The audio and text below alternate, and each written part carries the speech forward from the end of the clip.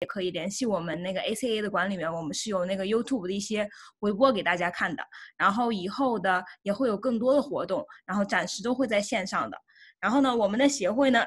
就是呃华人会计会计呃这个专业以及学生以及在校的学生啊，学会计的这些组成的这样的一个，然后意在就是能帮助大家在这个呃。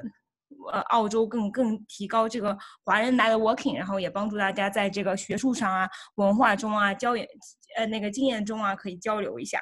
然后目前呢，我们是除了 ACA 的大群之外，我们有 CPA 的小群、CA 的小群，然后还有 Tax 小群，然后还有一些疫情期间的一些，比如说运动群啊、学习群啊，大家有兴趣的话都是可以扫我们这个二维码来呃联系我们的管理员，也可以加入我们的会员。然后现在的会员学生是好像一直都在打折的，就是半价而已，就是大概是五十块钱左右。然后呃，剩下的我们也没有很贵，就一百块钱这样的。然后给大家提供的就是有 CPD hour 这些这些 training，然后呢一些比如说我们现在正在举办的 mentor programming，然后就让大家可以认识更多的呃华人啊这些。然后我们现在基本上是在呃悉尼、墨尔本、呃布里斯班都是有分会的。然后今天呢，我们的老嘉宾大家也应该都认识，Jerry，Jerry 是我们那个昆士兰协会的，然后也是基本上每一个月都会和我们见一次，然后帮我们讲了很多很多很多会计方面的知识。然后今天我们会讲一些 tax resident 东西。然后我看现在现在大家三十七个人，哎，这还是。哎，大家都哪去了？我在群里面再教教大家，因为我们今天注册的其实九十多个人的，这可能一半都没来了。然后我先交给泰呃 Jerry 吧，Jerry 可以慢慢的帮我们讲一讲。然后我也在群里面再问问大家，看大家在哪里。好的，没问题。今天我估计时间上可能有几次不太一样，就是时差啊各方面。因为前段时间没有呃没有时呃有有时差嘛，后来有时差以后，我们过做过一两次节目，然后就是说他的呃八点或者九点可能他们呃整不太可能有一些混乱。呃，没关系，我们先开始。然后首先呢，就是说现在正好在我们那昆士兰协会这边在，呃，进行了换届选举。然后今的新的班子呢，基本上都已经定型了。我们会发一些新的，呃，广告给大家，然后让呃大家认识到我们这些理新的理事还有主席。呃，主席呢现在是在昆士兰这边是啊 Bob。呃，也会应该大家都会蛮熟悉的，因为他在第一年成立的活动的时候，已经参加过很多活动，啊，也筹措呃筹措过，然后筹划过很多一些类似的活动。只是在今年本来是我们要重新在请鲍勃在策划一些活动的过程中啊，就是说现在疫情爆发，所以呢现在一直没有迟迟啊把这些活动推出出来，呃，所以呢就现在我们现在呃只是啊在这个时间呢做一些啊调整，做一些换届选举，然后重新安排活动。所以现在大家会看到昆士兰这边呢，会有一些呃，希望在不远的将来会有更多的线下的一些活动，呃，到时候大家一定要关注我们，谢谢。嗯，那我们先呃，这次有录，所以我们先不等了。然后我们现在有呃，有谁来的话，我们先讲。嗯，这呃，对我现在看那个呃，小助手啊，William 已经把那个 YouTube 那边打开了，所以我们现在开始，就是说现在。嗯，这次讲的一些活动呢，可能我现在先 share screen 给大家。嗯，OK，其实这边就是现在跟大家讲这些啊，就是说它没有一个嗯特别难的一个细节，我都不太想讲的特别深。呃，毕竟就是说很多情况太多了，就是说本呃国不同国家，比如说后面还有一些复杂的 double tax agreement，还有。呃，公司之间的一些税务一些问题，这些问题的话，我们今天不涉及，只是涉及最基本的一些问题，跟大家提供一个讨论的平台吧。如果比如说现在呃，比如说大家有什么问题啊，各方面，然后有一些呃，有一些提问，其实在过程中可以直接提问。嗯，其实呢，这一次我们呃主要涉及的问题啊，就是基本上这这几个大的问题，就是说呃三类税务身份，呃税务居民，呃非税务居民。然后临时非呃临时税务居民，但其实现在又出了一个呃短期的一个叫呃背包客的一个 holiday maker 的一个特殊处理办法，我们后面会讲到。但大家其实最主要要分辨的就是两种情况，呃税务居民和非税务居民。然后临时税务居民呢，其实它是一个短期的一个过程，嗯，大家在签证方面可能会比较比较好呃鉴定一点，嗯。然后通过呢，呃，然后之后我们会讲到这四个 test，就是大家可能呃对听的最多的就是有没有住过半年。这个半年呢，其实它是一个辅助 test，它就是一百八十三天的辅助 test。它第一个最主要的 test 呢，我们等一下会跟大家讲。然后之后呢，三个辅助 test 什么时候才可以用，也会跟大家讲。呃，变更时间，因为在整个过程中比较呃接触的各种因素比较多，所以呃这个税务呃税务居民身份的变化也是在一个。在你不没有感觉到的一个过程中，一直在变化的一个，呃，一个状态。所以就是说，大家我们会举几个实例来讲，就是说他的身份啊，他的生活习惯啊，还有他的家庭环境组成部分有一些变化的时候，他的身份是怎么样一个变化的。还有另外就是说，可能呃，还有就是说有身边有些身边呃朋友，比如说海外投资啊，呃，比如说我们在这边上课定居以后，可能进家里的亲戚朋友要问我们是不是在适合在澳洲买房。像这些情况，然后我们怎么样回答他们的税务问题怎么解决，也是我们今天要讲的。呃，最后就是大家举几个例子，就是说呃轻松一点，就是说因为今天已经比较晚了，可能就是大家我们把这些呃常见的一些我们会接触的一些问题跟大家讲到以后呢，我们举几个常见我们生活中呃两个例子，一个例子就是说在这边上学、留下定居、呃结婚、生孩子有一个身份变化。另一个变化呢，就是像可能有很多朋友一样，他们是申请幺八八，呃，甚至啊八八八，呃幺三二，他们这个留下以后，他们的身份的变化，还有他们的资产的一个转移的过程中，哪些要注意的一些问题。所以最后这个两个实例是我们可能花时间稍微多一点的。前面我尽量跟大家带过一些呃主要的一些常见的一些问题，或者一些嗯比较实验实用的，或者一些难点，或者说一些大家会呃忽略的一些点。这个是我们呃后面就一点点会讲的，就是说现在大家可能不需要呃特别着急把这个表记下来，等我们整个讲完以后，我们再回来回顾一下。呃，就是这个呢，就是说，比如说现在从最左面，我们现在有税务居民，呃，中间呢是临时税务居民，但不包括背包客，背包客其实蛮特殊一个情况，然后非税务居民。所以呢，就大家会看到，就是呃，澳洲来源的税务呢，这个就第一点，第一项呢，一般就是，比如说是啊，他的收呃，比如说他的呃呃工资，这个可能是大家最常见的。非税务居民呢，肯定是要交税，呃，他也有呃，同时呢，也有一万八或者是更多的免税额，呃，这个是前面的，就是呃，比如说现在就是头四点。头四点，税务居民跟临时税务呃税务居民是一样的。临时税务居民呢，一般就包括像，嗯，四五七签证，呃，学生签证，只要他有工正常的工作呃签证的允许条件下，而且他的签证呢不是说，呃，没有时间限制，呃，不可以呃就没有时间限制。然后，呃，这边如果一定有一定时间限制的话，它是一般是属于非呃临时税务居民。但非税务居民就像海外啊，就跟这边就只是探亲啊，或者是啊旅游签证这些这一类人，所以它头四种是最大的区别，就是我们日常收入方面，呃，临时税务居民呢享受大多数呃税务居民的一些优惠，呃，但海外来源呢，因为是澳洲呢是呃全球征税，但临时税务居民有一个好处，就是说他在海外的收入呢，几乎大部分其实都不需要在。澳洲申报，比如说，呃，他如果在海外卖了房，呃，投资挣了钱，这些其实都不是纳入在澳洲呃税务呃税务范围之内的。但如果是他在澳洲作为临时税务居民，同时在中国或者在其他国家有领取，呃，一些其他当地的收入，比如说薪水，这些是要在澳洲统一报税的。呃，这些报税过程中，当然当然也会是摄取到双边的一个税务协定。但双边税务协定的前提条件就是说，你在两边都是税务居民的情况下，你才可以使用。嗯，当然就是说，如果你在国内，在中国，在已经收到一些呃中国的薪水的情况下呢，如果那在国内已经有交过税，这些可以在呃在澳洲在过税呃交税的过程中有一些抵扣。另外一点是，可能大家会忽略的一点就是那个 Medicare levy。就是说，这个是百分之二，就是在澳洲居民的呃，如果是你是澳洲税务居民或者居民的情况下呢，你必须有义务进这个百分之二的一个额外税。这个税呢是完成我们医疗保险的一个呃体系。但是呢，由于四五七或者说临时呃是学生的话，他是不享有这些公立呃医疗保险的，所以他本身也不需要交这个税。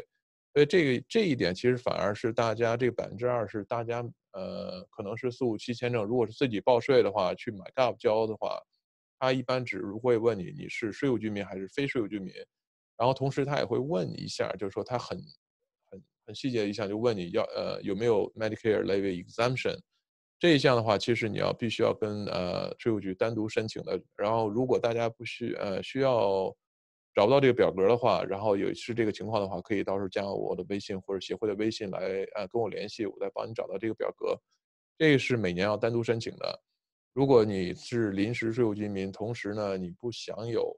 呃不享有这这个医疗保险的情公立医疗保险的情况下呢，你可以申请就是免去这百分之二的额外的医疗保险税。所以这个是大家可能要注意的，临时税务居民的一个特有的一个优惠。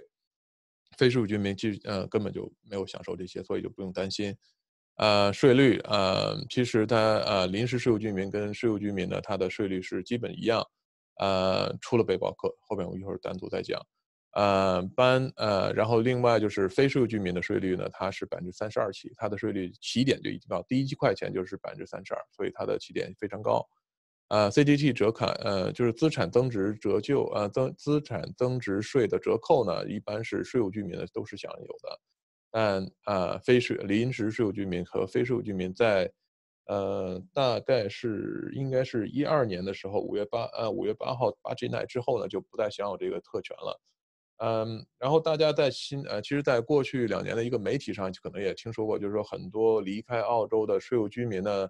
呃，被迫要卖掉他们呃原来在澳洲的呃主基地，这是有一个在二零一呃二零一九年十二月十二号，呃通过立法呢，就是把 main home 呃 exemption 被如果是非数居民的话，你就不可以享有这一项，因为在呃在之前呢是说，如果是你是非数居民，或者说你当时的状态是非税务居民的话，你还可以 claim。那你的就是你的呃 main home exemption，就是说，呃，即使你在离开澳洲六年之后，就是六年之内，你都可以享有申请。但在立法之后呢，就是说这个一二一九年之后呢，你就不可以再享有。但有一个特殊情况，就是说你在呃离开这个房子呃六年之内，同时呢呃原因呢你有一些呃生活上的主要变故，这些变故包括呃配偶或者十八岁以上呃呃孩子的一些过世。或者是家庭的离异，呃，还有一个就是说一些就是还有一些大的呃医疗的事故或者一些一些 condition 的情况下，你可以再再次申请这个享有这个呃这个权利。嗯，这个时间点呢，这些所牵扯的时间点呢，就是说也是从这个时间开始实行，但实行的时候呢，就要看你的房子什么时候购买。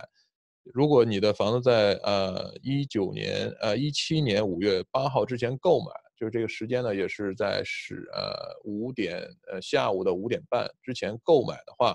你还可以就是在呃二零二零年六月三十号，基本上是还有二十七天，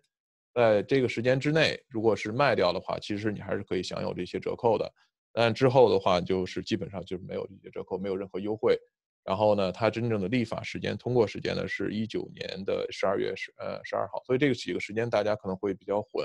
但呃，一般你要上 Google 去 search ATO 的 main 呃 non-tax resident main home exemption，这些细节都会列出来。这些呃 ATO 在最近几年它已经完善了这些所有的一些文件，基本上很容易懂。所以大家如果需要的话，可以去网上再看一下细节。呃，今天我们就不太讲太多了。然后另外就是说，还有一个就是，如果是大家也知道，如果是你要在澳洲现在卖房的话，如果呃，你是卖家，你就要必须要跟 ATO 申请，呃，就是叫，嗯，Capital Gain Withholding Clearance Certificate。这一般在网申网上申请，然后他一填一个表格，就是说他的填个表格的目的呢，就是确认你是在澳洲是作为，呃，税务居民的身份，而且要长期居住在这边。如果是有这个状态的话，然后税务局会给你发一个 Certificate，这样这样的话呢，就是。呃，你的买家，你的房子的买家不需要在你的合同上再 withhold 任何 tax，呃，所以这样的话就是会减免一些呃，就是减免一些麻烦。就是这个主要的问题呢，就会解决，就是税务局呢就会担心，像一些原来的一些海外买家，第一就是在澳洲买房以后呢，呃，他们没有按时交税，因为很多中介其实可能没有告诉。呃他们的顾客、他们的呃他们的买家，就是说你要在出租房的话，你要在澳洲交税，怎么样完税，怎么样申请税号，其实蛮蛮简单的一个过程，但是很繁琐，时间很长，所以很多人没有想去做这些事情。呃，另外呢，个人退税，其实如果他在海外，他在这边的新闻也很少。如果没有朋友或者没有税务中介帮他处理的话，他可能很容易就忘掉这些事情。所以在等他在卖的时候，如果再没有 withholding 任何 tax 的话，他可以就说，你再怎么折扣也就没有。如果他的税率太高的话，也有可能，他如果以后不想回来，他把房子卖掉再不回来的话，这些税很难再追回来。所以税务局现在在你呃卖房的时候，如果是海外买家。呃，卖房，然后你一定就会要 withhold 这个 tax，就这是也是对我们大家的一个保护，呃，税务体系的一个保护，为了确了确定大家来完税。嗯，在这整个过程中呢，也会我们会经常会遇到什么情况，就是说，呃，海外买家买呃买了房，然后再卖房，可能是很短的一个时间，所以他会 make 很多的亏损。如果他其实整个卖房过程中没有挣挣任何钱，所以他的 withholding 呃金额还是蛮大的。所以我们在呃第二年在做退税的过程中，还得把这些钱再申请再退回来。所以这个是一个其实蛮久的一个过程。我们有一些办法可以加快这些过程，但其实呃因为退款金额比较大，一般税务局会有一个基本的一个小型的一个审计。所以这个大家一定要把买房合同、呃购房合同、然后出售合同，然后之前所有的成本一定要记好。所以然后这些成本持有成本的话，也也包括你的地税啊。你的呃 rental property 这些的 cost 这些你们一定要留好，然后为了以后方便，在澳洲税务都很公开，但是也有些繁琐。嗯，所以就再回到我们的最主要的一些问题，可能大家问的比较多的一个事情就是居留测试，这是 re 呃呃 reside 呃 reside test，这个就是说怎么样一个通俗一个简简单方法吧，就是说你在这个国家居留的时候，第一个你的 intention 是什么？你来访的目的是什么？你来的时候主要目的呢，只是一个呃，只是一个呃玩啊或者观赏啊，就是没有一个长期的一个这个呃主要目的的话，这个就是说他在税务局来讲的话，就是说你的呃 intention 就是很重要，就是你来这边为了什么？嗯，之所以在 intention 这块我特别提的一点呢，就是说有时候呢，大家你来澳洲的签证的。签证有可能是一个临时签证，嗯，比如说是背包客，然后或者是呃，就是 working holiday 的 visa，呃，会出现什么情况？这个我跟大家讲一下。就比如说我们当时呃，大概在两年前遇到一个情况，呃，一个英国女孩，然后在英国的时候呢，遇到她的男朋友，她的男朋友是澳洲整身份，然后澳洲税务居民，呃，也是 citizen。呃，当时他在游学，然后大大学毕业以后呢，他他们就说这个女孩也非常不喜欢英国的一个非常冷的一个天气，然后想来到 Brisbane，然后来到一个这样一个阳光城市。呃，当时呢，他能申请的签证或者最简单的签证呢，就是最最快的一个签证就是 Working Holiday。嗯，这个签证呢，其实当时的他的 intention 呢是跟男朋友一起要在留在澳洲，所以他们最早在澳洲的第一年也是同居。但第二年的时候也是很不幸，就是这个关系没有维持下来，然后他的身份呢又转换成了四五七的一个签证，所以我就想跟大家想一下，就是说他的主要的一个签证问题呢，可能是一个呃临时签证，但他的 intention 是要跟她的男朋友来到澳洲，虽然说这个关系没有维持太久，但他的最早的 intention，然后他最后找工作。呃，他的雇主在帮他申请呃新的永居签证的过程中啊，他的 intention 或者他的目的性一直没有变，他要留在澳洲，他非常喜欢这边。所以呢，我们就在大概呃看到这个客人以后呢，就发呃发现他的税率啊，他是按照背包客来申请的。呃，所以呢，就是我们在呃税务的过程中跟他谈了很多事情，有时候呃税务代表也是。挺难做的一件事情，有时候很婆妈，要问很多事情。你什么时候分手啊？啊，你为什也没有说为问为什么分手啊？或者说你分手大概多长时间呢？你来为什么呀？当时你们怎么认识啊？这些文件其实听上去很很婆妈，但就是但也是对于我们客户来讲，其实很重要的一些问题。当时我们把这些文件写下来以后呢，因为当时他的第第一年来澳洲第一年的 tax return 已经过了两年的一个 review 的 period，所以我们要必须写 objection。说写 objection 的时候，整个过程就是说这些文件必须呃越细越好。所以他的 intention 啊，他们是在呃在英国的一些见面的一些记录啊，这些我们都写的很清楚。所以呢，就在呃就我们就很成功的把他的税率从第一天登陆到澳洲，然后已经变成了呃 tax resident。所以他这个大家在判断 tax resident 的过程中，签证只是一个很简单的一个呃起点，但不要为他签证牵扯太多的精力，呃，所以这边你一定要注意，他就是说来了澳洲以后，他的最早的目的是什么？他来了以后，他的生活习惯，然后他的家庭关系，然后他的生活圈子有没有重心移到澳洲？比如说他来到澳洲以后呢，他住的是酒店。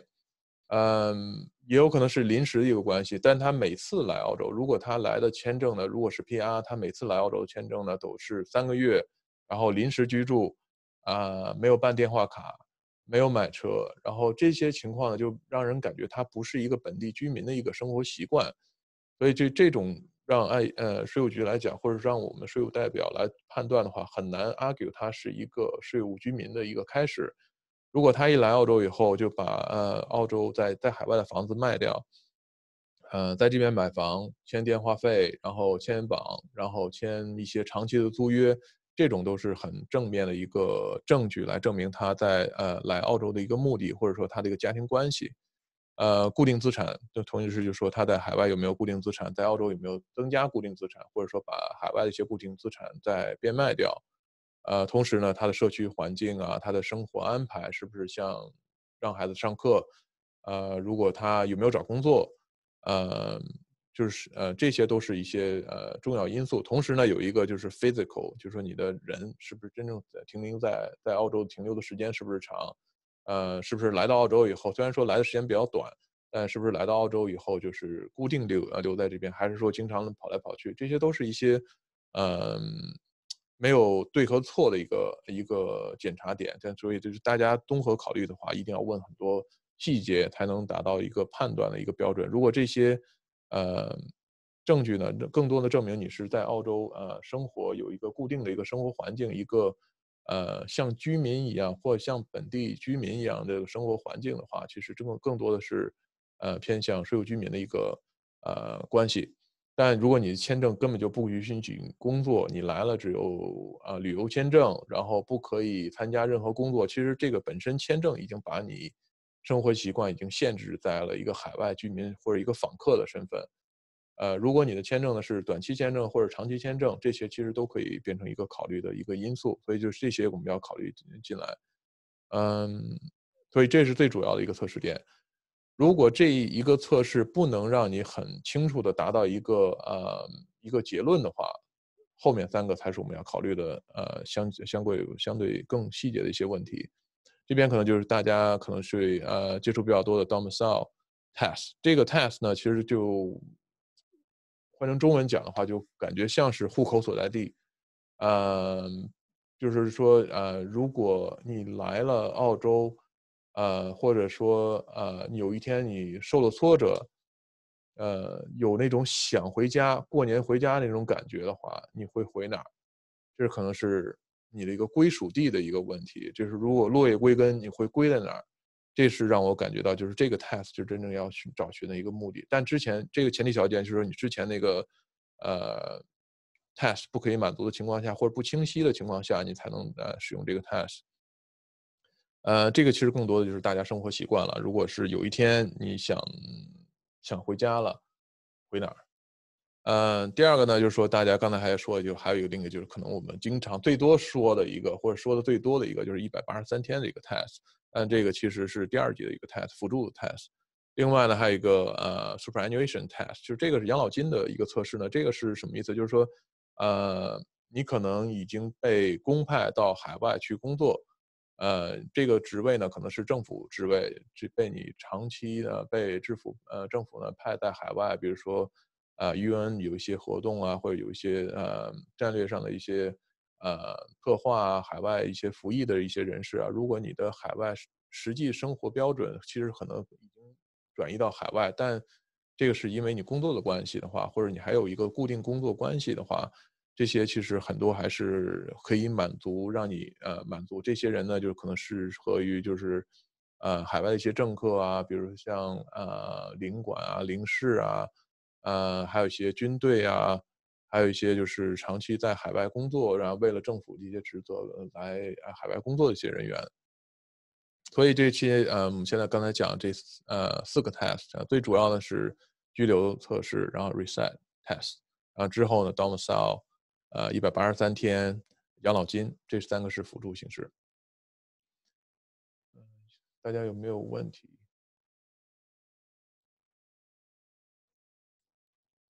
？OK，现在如果没有问题的话，那我继续。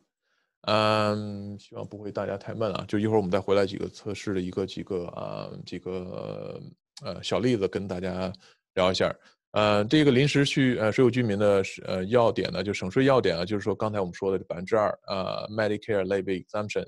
如果你是只是临时税务居民四五七，呃，然后还有一些最主要其实当时四五七比较多，现在可能还有一些新的类别。呃，还有学生签证，如果你的税务比较高，然后你需要缴纳这个百分之二的呃 main home，就是你的 Medicare levy，呃，这个 levy 的话，其实一定要记得就及及时要申请 Medicare levy exemption。这个现在表格呢，在网上填就可以，而且已经非常简化了。它之前是需要有整本的护照都要附近，现在基本上，呃，护照的 bio page 就可以上呃上网申请，然后提出。呃，你的入境时间啊，你的签证类别啊，其实他们都可以查到。所以这些的话，如果能申请的话，百分之二其实不少的税，大家可以申请一下。如果需要帮忙的话，跟我说。嗯，另外离境时间，哎，对，就这个就是可能像，呃，大家可能是经常忽略的一个问题，就是说，如果你只是临时呃临时签证，四五七也好，呃，背包客也好，呃，先不说它税率的问题，就是说你如果你在离境的时候。你其实还有一笔钱，这笔钱就在你的养老金里面，因为只要你在澳洲工作啊，每个月超过四百五十块钱，一定要找到这笔钱，然后，然后再跟你的养老金去，还有税务局去申请你的退款。呃，虽然说税现在呃从最近开始啊，就一七年开始，就是它的税率变得很高，但这笔钱，如果你没有想要再回来，一定要记得拿走。嗯。然后另一个比较尴尬的问题就是说，经常是十二月份，就是在很多嗯嗯很多四五七也好，或者公派也好，他们在离开澳洲的时候呢，可能是在过年之前，或者说圣诞节之前，所以这个时间呢，就是可能正好是在财政年的正中间。如果你要再等半年再要去交税的话，很多时间就是很多问题都会产生，也有可能就是你的账户是不是还有保留？如果你有退款放在哪里？呃，很多事情会变得很难办。所以在这个时候呢，一般我们就会建议呢，客人就如果是在年终的时候，我们可以申请一个纸质的，就是说基本上要在上网填一个表格，但这个表格呢是纸的。呃，比如说我们现在呃，二零一九年十二月份这个客人走，那我们当时最新的一个呃个人退税的表格呢，只有一九年，所以当时我们要再用纸去填呃这个表格，然后但是把那个一九年划掉，改成呃二零二零年，然后交给税务局。这样的话，其实。税务局会提前退你钱，呃，提前退款，然后这个退款呢，其实也会在二十八天之内完成，呃，这个是大家呃可以考虑的一个因素。如果是时间太尴尬的话，如果是可能四五月份、五六月份，其实我不值得，我觉得不值得这样做，因为如果你的表格寄寄丢啊，各方面有一些原因的话，其实追溯起来非常难。所以我们宁愿如果是两三个月的话，我们可能最好还是等一下，除非特殊情况，一定要注意。呃，当时还有就是最后最后一点，就是 working holiday。你虽然拿了 working holiday visa，呃，你的个人退税呢，其实不一定非要说按照临时税务居民来交。呃，这边就我在这边包括了一个 reference，就刚才我们说的那个例子呢，其实跟呃我当时遇到的客人的例子，就跟这个 example six 是一模一样。所以就大家可以看，就是这边呢会讲的比较细。呃，它这个是 WHM，就是呃 Working Holiday Maker，就是它这种呃这些例子啊，就是大家可以看一下。其实可能很多身边的朋友都会遇到这种情况。如果你自己没有这种情况的话，你可以帮身边朋友看一下，会不会有帮他们省到税的地方。这些可以大家留意。这几个点就是经常我发现经常会被呃客人忽略掉也好，或者被其他的一些。会计忽略掉也好，就是大家一定要注意。嗯，然后下一点呢，就是大家刚才说的呀，就是说现在如果你要离开的时候，你的税率呢，背包客现在税率啊，就从，嗯，忘了两年前好像是，就是它的税率就是从一月一号改的，就是一七年一月一号改，所以就那个年特别尴尬，他所有他的税单，他的 PAYG 还是没有 Single Touch Payroll，他填他填拼呃 PAYG 呃 Group Certificate 的时候。还有这个背包客要填两呃两份，一份呢是按照背包客填，呃就是七月一号以后呃就是一月一号以后的新政策填，另一份呢是按旧政策填，所以他这个过程弄得非常难受，非常讨厌。然后，但现在还好，就是现在基本上所有的信呃都已经按整年开始操作了，就而且都是呃所有的 payroll single touch payroll 都已经支持这些功能，所以就大家不需要再手动再做这些表格。呃，他们背包客的税呢，就是从第一块钱开始啊，就是百分之十五来征收。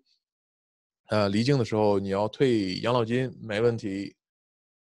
如果你有任何呃这些养老金收入里面，呃，如果有任何一块钱是呃 working holiday maker 的话，你的税率就是退出来的税率，比如说你现在养老金里面这两年你攒了大概两千块钱。呃，这两千块钱首先要扣到百分之十五的呃税，之后呢，剩下的这些钱你要再扣百分之六十五，所以税很高。但如果能拿的话，还是比没有好。呃，但还另一种情况就是说，如果是没有 working holiday maker 任何 component 在里面的话，就是说会出现一种刚才那种情况，就是说他来的时候是 working holiday，头两年，呃，之后呢他是四五七。但如果也会出现一种情况，在四五期的时候不可以接 PR，那这种情况他必须离境。他要申请离开的时候，他如果用的是同一个 Super Fund，他的呃他的 tax 就被会被定在百分之百分之六十五。他离境的时候，但如果是他来的第一天就是四五期，他离境的时候呢，现在 tax 呢会被定在呃百分之三十五，就是说也是在你交过税以后再再补百分之三十五的税，然后。剩下钱是你的，基本上就把你的 rate tax 呃，就是把你的 tax rate 降到百分之五十，就升到百分之五十，所以其实也是蛮高的。所以就是说，你离境要取钱的话，这些钱你要慎重考虑，是不是真的几年之内或者说长期之内不会回来。嗯，这个大家是要注意的，因为呃，如果短期之内会回来，或者说你有一个 intention，你知道会回来的话，就是说你可能可以考虑保留。嗯，对，就是这些。这些设计的一些呃变化会比较多，可能大家稍微注意一点，会省蛮多钱的。嗯，海外投资人，呃，七大姑八大姨在澳洲买房，呃，他们的税怎么办？是不是很高？高，但不是说不合理的高。比如说他现在买一套投资房，他虽然说他个人的作为非税务居民，他的税务起征呢是百分之三十二。但他们的一定要看跟他们解释清楚呢，就是说他们的收入可能租金是两万块，管理费可能百分之七、百分之八，然后呢，这样可还有另外的，就是有一个可能是完全现金买，没有没有任何呃没有任何其他的费用，就是利息。这样的话看上去可能他最后到年底的时候可能还剩下个一万八、一万七的呃收入要交税，是不是很高？如果直接交的话，非常高。另一个种呃考虑呢，就是大家我们像我们自己买投资房一样，就可能要考虑一个做折旧。折旧师的话，可能是他们可以做的一个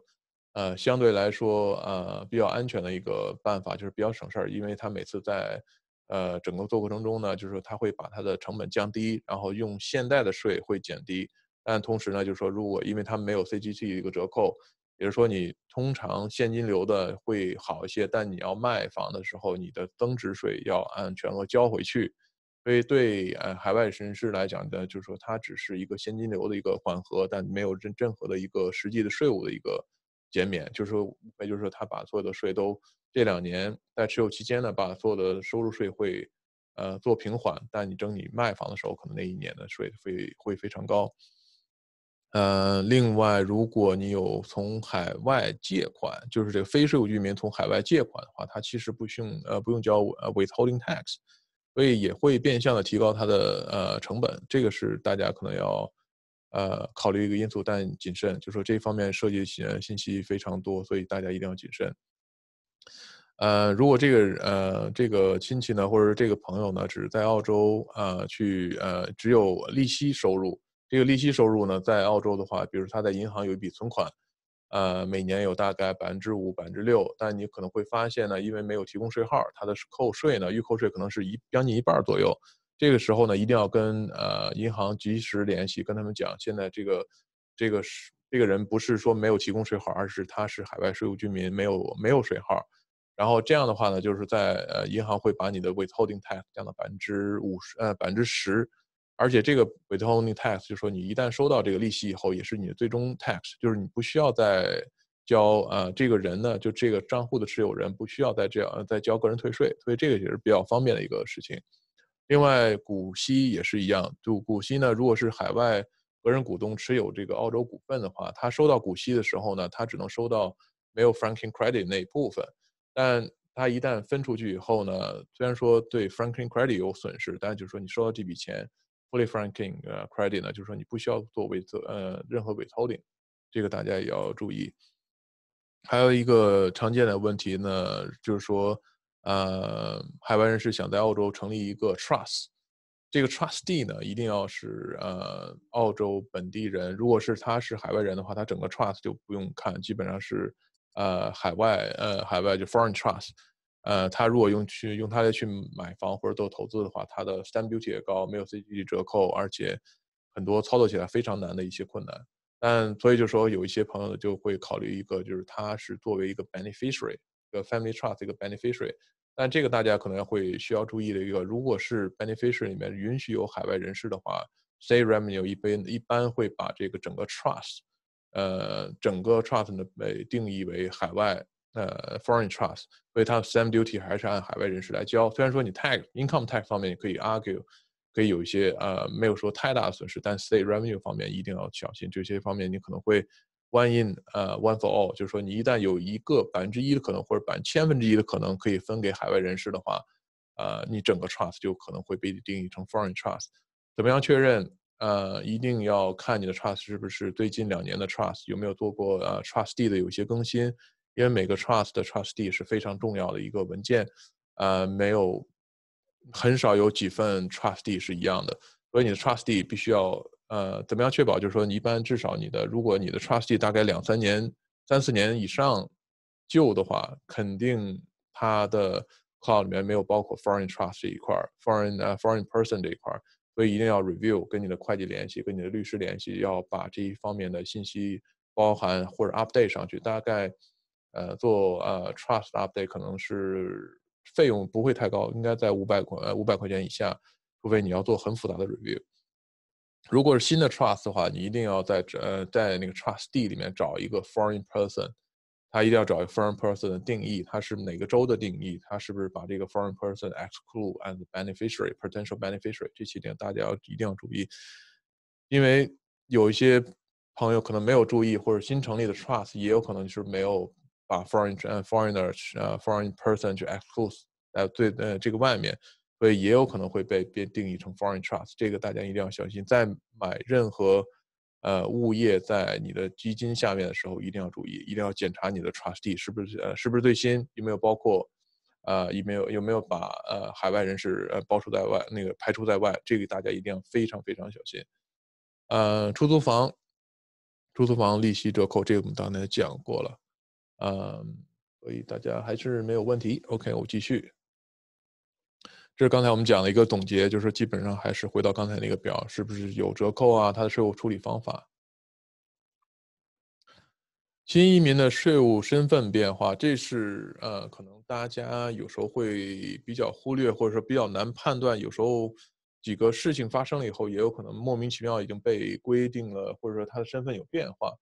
所以这个的时候，就是说呃，在我们先不考虑整个过程中，就是说一会儿我们的实例里面会讲，就是这个身份是怎么一个变化。嗯，那我们先讲，就是说海外税务居民的一个身份变化，就是如果你确定那一点，你已经从税务居民、非税务居民或者说临时税务居民变成了个税务居民的时候呢，有几点东西要做。一个第一个呢，就是说你的名下有什么财产，你的资产是什么，呃，你的资产在当时有没有估价。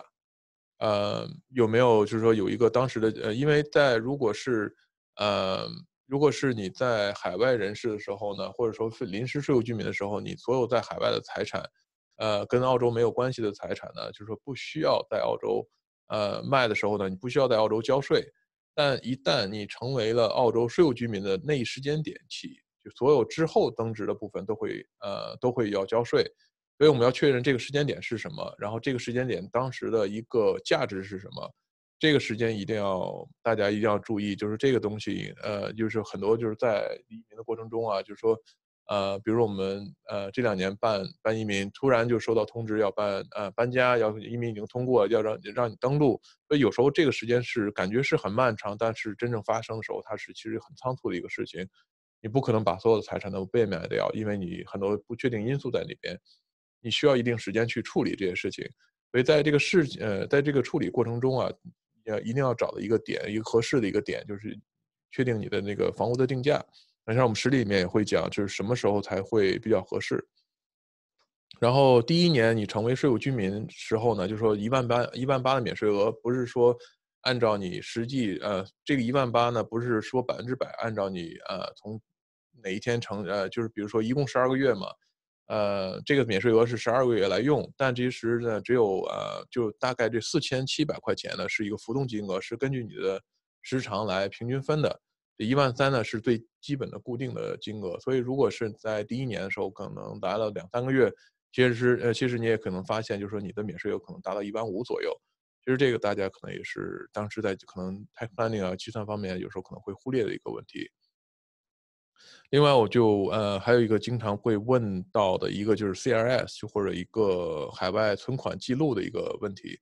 就是说来到澳洲以后，大家可能就是在转转移资产的过程中，可能用的可能不同不同途径吧。最早可能七大姑八大姨都在往这儿转钱，现在呢，可能大家都在用全庄或者说换汇中心，呃，在做这些东西。但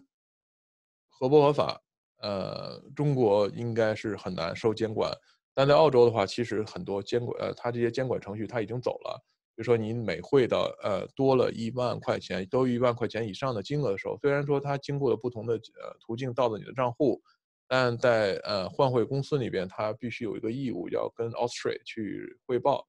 ，Australia 呢会把这些信息及时的反馈给税务局，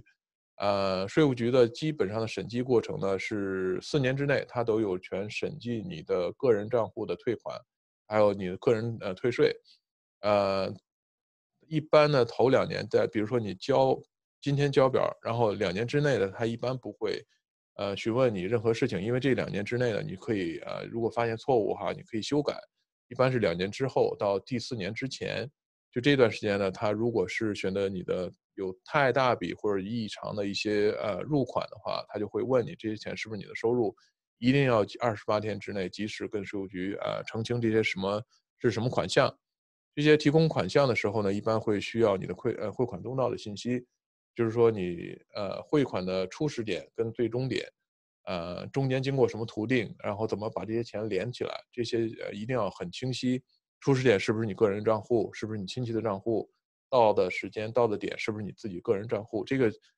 可能会久经呃，会经过很多不同的折呃纠折嗯不同的过程，但大家一定要就注意这个汇款通道的汇款单一定要留好，而且这笔钱的来源是不是呃很清晰？是不是你原来在国内有存过钱，有卖过房，有些这些收入？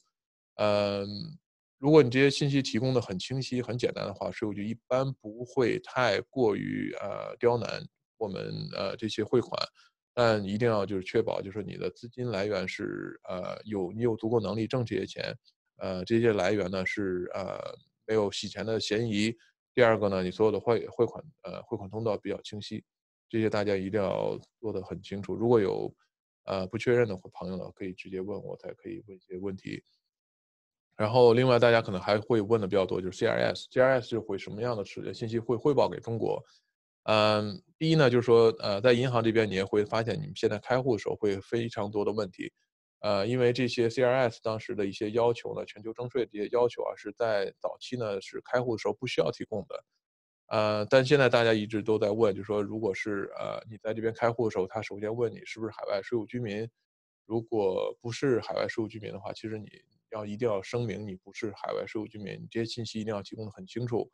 呃，如果是海外税务居民，比如说是中国税务居民的话，他会问你的中国税号。这个中国税号可能大家都一直不是特别清楚，其实中国税号就跟我们身份证号基本上是呃应该是一样的，所以这个大家提供的时候可以提供在国内的身份证号，呃，这些信息一定要提供清楚才可以。呃，如果是呃澳洲税务居民的话，其实他没有义务要去公开这些 CRS 的信息。所以这是大家可能就不需要太担心的，呃，如果有具体情况或者有在还有其他顾虑的话，可以跟我再继续联系。嗯，OK，那我们现在其实进展到最后环节了，我们现在准备看我们的实例，好吗？我先，呃，我先让大家花一点时间看一下。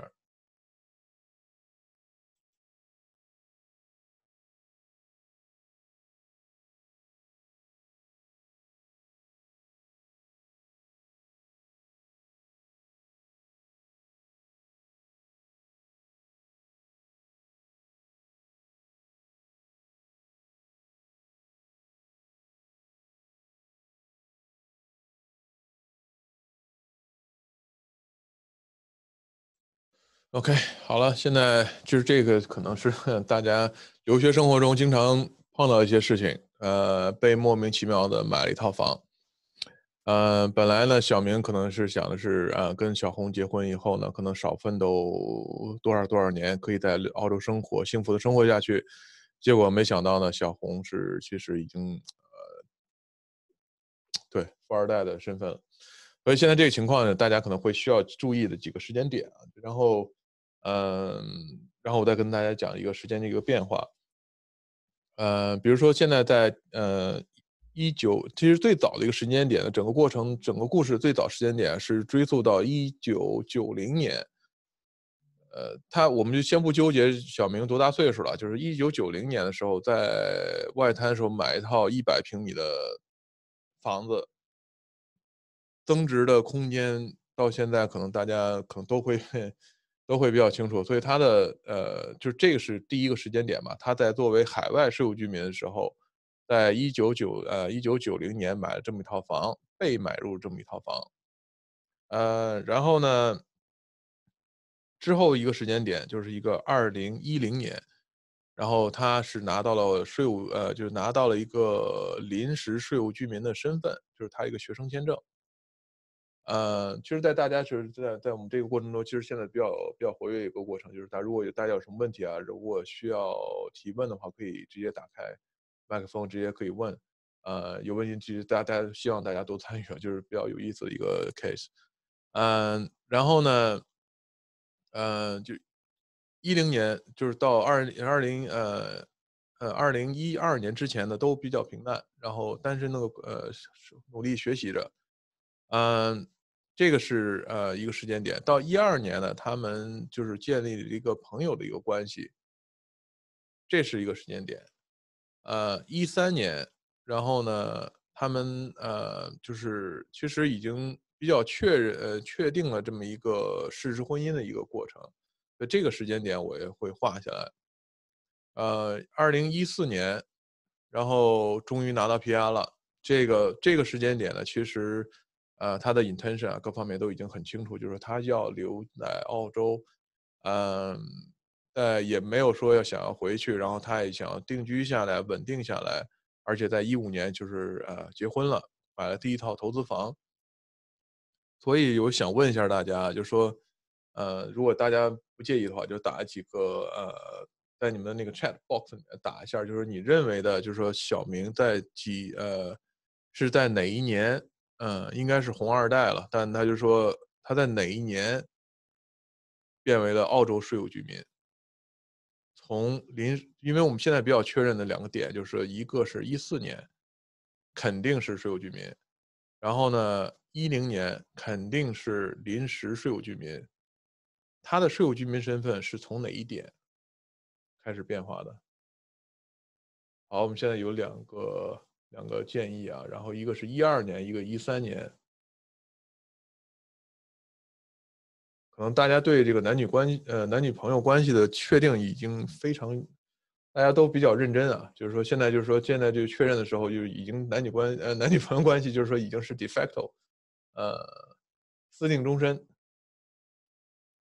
虽然说他不知道有这么一套房，还有没有其他的建议呢？OK，那现在两个吧，现在两个呃两个结果，有的是一二年，有的是一三年，其实我觉得都对。这两个情况都对，就看我们当时在这一二年、一三年有什么真正的 tax 的一些呃 event、CGT event。嗯，保守的估计呢，其实是在我们可以呃很很安全的，就是确定，就是说一三年的时候，呃，肯定是税务居民。一二年，嗯，可以看怎么声明。其实有有的有的 argue，应该是一二年，其实最早的时候，这是有可能是变为税务居民，因为。你的不管你的身份是什么，就说你拿的签证是什么，然后你可能是一个临时税务居民，但你的呃 s p o u s 你的 de facto，就是一旦他是税务居民的情况下呢，会把你的税务居民的身份彻底颠覆，直接把你临时税务居民的身份所享有的一些特权或者说这些优惠都已经取消掉，所以税务局要看他想要跟你 argue 这一点的时候，我们会 argue 尽量的是。呃，朝客人的方向去，怎么省税怎么来，可能是尽量延迟这个时间。但税务局的角度来讲，如果他在做 review 的时候，他要提供足够的证明，就是说他想要找这个时间点越往前越好，他越多收收，如果他能越多收税越好。所以就这个时间点，我们一定要保护好客人，或者说保护好我们自己的利益，就找到足够的证据。因为有可能说啊，我们一二年啊已经呃已经是认识了，但我们其实没有同居啊。呃，我们还很独立，然后都是还没有确认关系，然后我们还闹过几次分手，像像这些事情可能会，呃，会计不该问的东西，但我们一般会记录下来。呃，在一三年，其实这时候我们已经啊住在一起了，其实这个就是比较难，呃，比较难，呃，比较难质疑的一个 de facto 的一个关系，所以这这个是一三年我们会是比较呃基准的一个底年，一二年我们要看实际情况，看怎么样啊，有什么样证据可以 argue。所以谢谢大家。然后这个其实都两个问题都都对，其实但就看我们最后是站在哪一边，怎么样呃怎么样呃怎么样呃帮助客人。呃，但你看这个就是这个在一五年的时候啊，这个呃这个婆婆呢告诉小红这套房以后，这套房怎么处理？哼，她像现在这套房呢没贷款，海外净收入。非常高，怎么办？呃，他现在有两个税务处呃问题要需要处理。第一个，他呃如果没有做任何动作的话，他这些钱有没有拿到？就是他呃，就是说他这个一万块钱的税金，呃，先不考虑他真正有没有报了。呃，第二就是说，先考虑就是一万块钱一个月一万块钱的税金，他怎么报？他这个如果要报的话，其实他能把就像我们这边一样做，就是能把一些折扣啊、一些费用能抵掉、抵掉，然后净收入如果在中国没有交税的话，其实他这些钱如果要转到他个人账户，变成他们以后小两口以后的收入的话，他这些钱其实一应该月收入也要交，在年底的话也要报个人所得税，而且按他最高的那个 tax bracket 来交税，所以这个大家小心。另外，他这一套呃房子呢，在过去几年将近。三十年了，三十年的一个增值，上海可想而知。就是说，它这个这个东西，它也要计算，怎么计算？它这个基本上就是说，比如说这过去的三十年增值的总额呢，会除以三十，然后呢，再看它这个是一三年还是一二年变成了税务居民的时候呢，就是说他在一三年，比如说假设他一三年已经变成澳洲税务居民了。那之后所增值这部分，如果他在之后一点，今年如果二三呃二零年卖掉的话，这一三年到二零年之间的这一段时间所产生的这些 CGT，它要交税的，呃，所以这个是大家要小心的。这个问题有点有点难，Allen 就说在问，如果申请了 First Home Grant，是不是没了？现在这个呃，这个我要看一下，因为它是海外的话，这块我不太确定，可能我到时候回去帮你们看一下。这个我宁愿没有，就是这个有一套这么房，我什么都不想了。呃，然后就现在就在想的话，就是说这个时间还回到正题，就是说我们在讲这个 valuation，就是说有时候呢，就是可能在九零年或者在前半段，有可能大家发现的时候，在前面的时候是一个疯涨的一个过程，在一五年，呃一几年以后，它的增长相对来说应该是很慢。所以，如果是没有一个 valuation report，在一三年或者一二年的时候，你的 valuation 是没有的情况下呢，没有一个单独的报告的情况下呢，你的所有增长是被税务局视视为是平均的，所以你的所有增长会被除以三十，然后再算哪一年，呃，有交税，哪一年不用交税。但如果是在一五年他知道的情况下呢，如果是呃尽快去做一个估值的话，其实还是有帮助的。如果他能发现。它的增值已经非常高，然后在那段时间在持有一段时间，后面增值比较低的情况下呢，其实它的税务方面它的呃负担会轻呃相对来说轻呃轻松很多，所以这个的大家可能就是一个 valuation 的一个呃重要性，你越早做 valuation 或者那一点已经提前做好准备做 valuation 的话是比较重要的。呃，现在还有问题，如果他那套房子没有租金收入，但他付自住，也不打算卖掉房子是？呃，这个不行，因为他父母在住，就不是他自己的自住房。但他如果没有卖，没问题，一直在住，然后一直在住，然后，但他就不是他的自住房，他只能说也是个投资房，因为他就没有 main home exemption 的一项。因为，呃，两口子就是说，他们只能，其实理论上讲，其实除非他们分居，如果理论上讲的话，他们只能选一套房是作为他的 main home exemption。但其实这个问题迟早要解决，即使他没有租金收入，他的 capital gain 还是有的。呃，除非这套房子其实买在父母名下，反而倒稳妥一些，因为在中国有遗产税，在澳洲是没有遗产税的，所以这个是可能大家要在做财务规划的时候，可能需要呃多方考虑的一个问题。如果是呃在我们的呃这个情况下呢，小明持有这套房，父母在里面住，没有租金收入，但他也是一个 capital gain 的一个。呃，情况，因为它唯一最大的一个免减免的，就是说它的一个 main home exemption。但如果这个是没有的话，呃，不是它，因为它 main home exemption 的前提条件就是说你在这个房子住过，然后呃，你在这个房子住过以后，你 absent 六年之内卖掉，它 main home exemption 可以用。然后如果你来的已经有几年了，哎，马上了哦，一零年，就是说他可能来澳洲之前，他已经在那儿住，他自己在那儿住。有有的给应该可以有的减免，但这套房他是不是有住过？这些证据怎么证明？这些可能大家注意，就是说不是说呃，但你要永远不卖没问题，这些就是不会有税务方面的优先，因为它没有 CGT event，这些大家注意。但 valuation 这个点，就是说如果你是在移民这个点已经 create 一个 CGT event，所以就是说这已经过一个时间。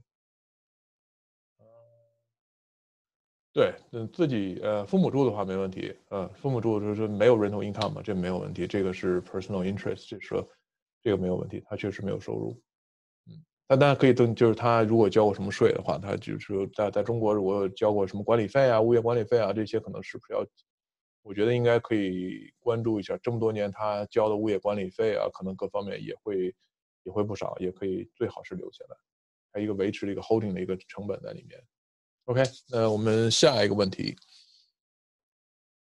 如果还有问题的话，可以继续，我们再继续讨论啊。因为这个东西它牵扯到东西太多，所以，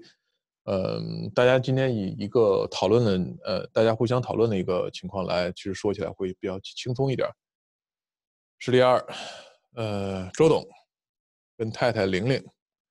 呃，其呃携一儿一女通过八八八签证移民澳洲，其实他们不用，他们都跟太太走就行。但咱们就是这个例子，就是八八八签证啊，神仙湾买自住房一套，移民后呢，就说现在其实也是大家呃经常会看到的一个情况，就是说最近呢，大家很多很多都在移民，然后呃可能是在人到中年以后呢，这些就是中产阶级或者或者说高高高净值的人士以后啊，他们会在。澳洲买房定居下来，但他们的定居过程呢是一个非常漫长的一个过程，呃，在这过程之间呢，就是会经常会发现呢，就是说我们，呃，就是可能是呃太太或者先生一方，在澳洲陪呃子女在呃在就是维持这边的生活，在定居在澳洲，但另一方呢就经常会呃回国也好，在这个国内处理一些其他的一些事务，在。进呃生意收尾的过程中，其实是四五年或者五六年，其实是相当漫长的一个过程。在过程中呢，就是呃，夫妻呃夫妻双方呢会有一个处在一个分居的一个状态，其实很辛苦。然后呃，另一边经常要飞来飞去，然后探亲啊，各方面就是他们这个关系其实维系维系的时候，大家都很辛苦，能感觉他们好像又挣着国内钱，在这边又享受这边生活，好像很光鲜。其实我看到很多就是他们之间也是很很辛苦的夫妻两呃夫妻两个人维持这个生活，在过程中呢，就是说它会产生一个税务问题。移民，呃，比如说现在就说我们现在就是这个可能是比较开玩笑的一个口气跟大家讲，就是大家可能会遇到几几个问题，就是说，呃，在税务局的角度来讲呢，就是说夫妻双方已经拿到了 PR，然后家庭已经移到了澳洲，默认情况下呢，税务局会把这两个人或者还包括孩子都就作为了一个澳洲税务居民的一个身份，因为你的 intention 是长期定居在澳洲。啊，你的生活环境，你的呃呃，就是我们回到那个 domicile 的 test 那块儿。你看这边来访目的，就是我们在这做这个测试嘛。现在就是这两两个人都同时做，呃，来访的目的呢是移民澳洲生活，孩子上学，呃，家庭及商业来往，就是这些我们不想先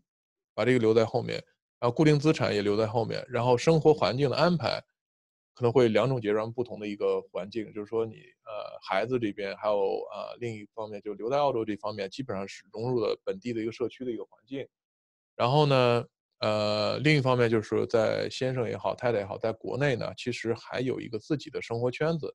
也可能是像刚才我们讲的，就是商业来往还没有断掉，然后固定资产还没有完全处理完，嗯，所以就是说，而且。离境的时间也会比较长，然后来访呃来访的时间会比较频繁。这种情况下呢，就是说两个人一起在做这个测试的情况下，把这个整个家庭单位，呃，做成一个整体单位，呃，来测试这个税务居民身份的话，一般这个整体单位会作为一个税务居民。但对于先生来讲，如果他在这段时间他在卖产呃卖国内的投资房，卖呃国内的呃生意的股份。这部分他如果产生的税非会应该会是非常高，所以一般我们会在这种情况下呢，会建议客人会做一种选择，就是说，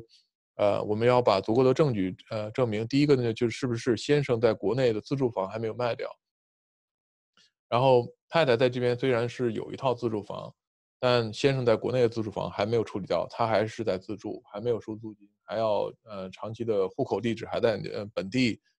生活关系还没有变，车没有卖掉，然后本呃在澳洲电话只有个临时电话，在中国只呃有一个长期的固定的号码还没有改变，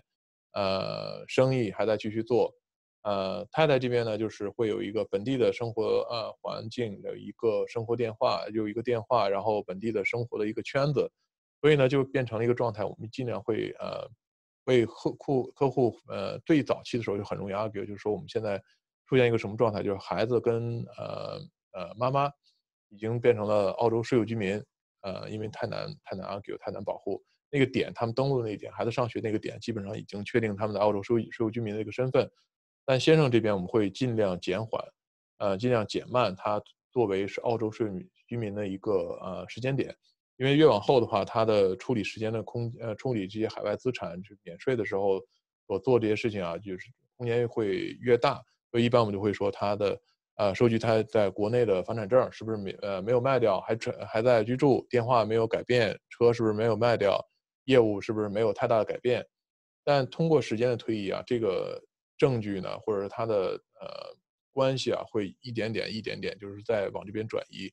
所以会出现一个点，他还有一些呃已经可能非常大的可能就会被认为是澳洲税务居民。因为他可能在国内的生意已经处理掉了很多，然后也可能只剩下了一些固定资产，也不需要长期回去在国内啊处理业务。这个时间点呢，可能会接近这个时间点的时候呢，我们会一般会要求客人对呃在国内还没有处理掉的呃资产做一个评估，比如说呃估价报告，然后股票值多少钱，然后有没有一个库存报告，呃，然后有没有。还没有在国，还有在国内还有一些珍藏品啊，个人的一些收藏品啊，当时的估价是什么？他当时还有一些，如果是还有一些像，呃，珠宝啊，像这些东西有没有估价？这些东西我们就在尽量非常接近这个点的时候，我们一般会开始做这些报告。所以就在如果它在呃短期之内卖掉以后，可能我们就不会太担心。但如果是它在这个点，如果税务局再往前呃追溯的话，就是这个点会，其实这些报告会保证我们客人的一些利润呃一些利益，因为毕竟在这个整个过程中，就是说会出现一种呃一个时间状态，就是我们很难 argue，但什么时候判断，什么时候定，这个是我们如果是提前做好准备的话，其实对对于客人来讲的话，会是一种保障。嗯，所以就后面就说，呃，后面就可能就就是做一些呃网红啊一些收入，比如说 YouTube 给他从海外从美国打了美金到个人账户，他需不需要交税？需要。呃，公司的工资需要，然后税后分红也需要。呃，因为它这个税务啊，就是它还有另一种经常出现的一种情况呢，就是说是呃，公司需要最早买买房的时候，就买这个资产的时候需要一个投资，这个投资如果是从海外借款的话，它会出现一个利息，然后这个利息税呢是只有百分之十，所以它这个利息税是非常低的。一般我们会呃在允条件允许的情况下，会让客人尽量用这个低税呃低税额的一些资呃资本啊，就可能会帮我们。减低一些澳洲税务的一些压力，但这个税务呢，就是经常利息可能会客人想定的百分之十、二十，就是这个东西太高。但这个界限呢是什么一个界限？就是说，呃，二呃，就是 ATO 那边会有一个 benchmark rate，就是说基本上你的利息非常低或者你的呃金额非常低的情况下呢，你所需要做的文件非常简单。但如果你呃你的文件啊，就是说如果你的呃利息是比市场都会高，或接近八、接近九、接近十。这些的话，一般我们会建议客人去做一个呃，就是 transfer pricing 的一个定价，就是说为什么一套文件，就是说它它这个成本会非常高，但一般要确定客人就说知道为什么能定到这么高，利息为什么会这么高，它同时同同期产品其他产品的话是不是能借到，是不是关联企业，这些一定要大家考虑，利息不是说随便可以定的很高很高，这些大家一定要小心。嗯，好吧。有问题大家可以谈，然后没有的话我继续下一个，就基本上最后一个阶段，就是说，嗯，其实我们今天还很多很多都没有谈，只是简简单谈了一些我们生活上可能遇到的一些问题，呃，还有一些问题像资本弱化，资本弱化呢，其实呃，当时大概三四年前我们谈的做的东西非常多，但最近两年它做的比较少了，就是说因为它的税务局对这个资本弱化的金额定的就。相对来说比较高，因为它的资本弱化会产生，就是说，像我们刚才说的，就是说，如果是我们呃像企业或者说从公司在国国内关联企业借款的话，它的总金额超过两百万以上，它的抵扣能力会相有下降。就是说，比如说原来我们利息呢可能是一百万，就是它基本上百分之百，然后如果呃不考虑 transfer pricing 就是转移定价的问题的话，它的抵扣能力是百分之百。但如果你是通过呃，关联企业借到这笔钱，或者内保外贷也好，就做这些钱也好，然后你的利息年利呃年利息超过两百万以上的话，你的这个利息的抵扣能力会因为资本弱化来降呃降低你的抵扣能力，这个是大家一定要看，就是两百万的利息额一年，这些一定要大家是一个呃，如果发现这个问题的话，可能需要跟相关人士要谈这个，其实资本弱化的计算方法也是很复杂。Transfer pricing 就是说，如果是跟相关人士、呃相关企业也好、个人也好购买或者呃出让一些呃产品也好、利息也好，就是像这些东西的话，一定要呃确定它的定价是市场定价。如果没有一个市场定价的话，如果呃定价而且比较怪的情况下呢，你就一定要做一个 transfer pricing。呃，就是说这个 transfer pricing 呢，就是呃给你提供足够的证据，就是证明就是你的。呃，价钱是合理的，不是为了转移税务风险或者税务责任来定的价钱。另外就是 double tax agreement，就是大家可能会问的比较多。那我在呃中国收的税是不是要做 double tax agreement？就这个其实大家不用担心，因为如果是你只是澳洲税务居民或者一方呃一个国家的税务居民的时候呢，其实你 double tax agreement 的呃协议啊细节其实不生效的。其实你 double tax agreement 也是前提条件。呃，就是说你在两个国家都需要交税，你是两个国家的税务居民，